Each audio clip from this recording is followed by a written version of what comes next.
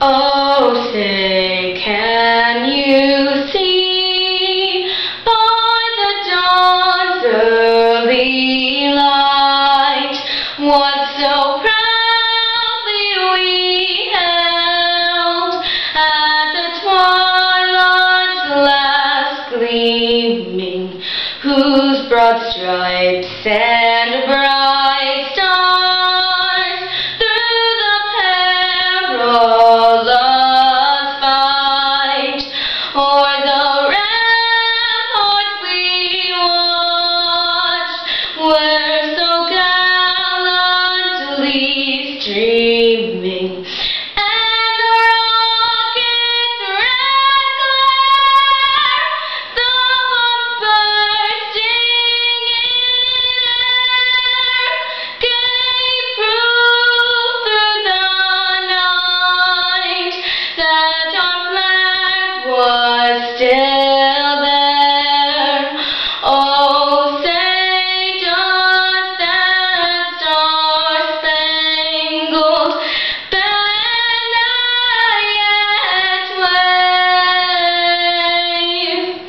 or the